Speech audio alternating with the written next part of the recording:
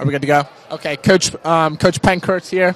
Your girls start sectionals here February 22nd. What do you think they really need to focus on to make a long run here and win a state championship? D- defense defense travels, so you got to be on the road. You have to win against tough opponents. If we can play great defense, we we can go a long way. Okay, you're four seniors here. They've been with you all four years. They've really come a long way. And uh, Captain Lindsay Baker, she's really doing a great job leading this team. What do you think she really needs to focus on and tell these tell these younger kids to help her win a state championship? Lindsay, Lindsay's biggest. Uh, it's hard to criticize her for anything, but she's the hardest person on herself. So she has to relax and just play the game. When she plays, she's as good as any player in the state. Thank you, Coach. Appreciate it.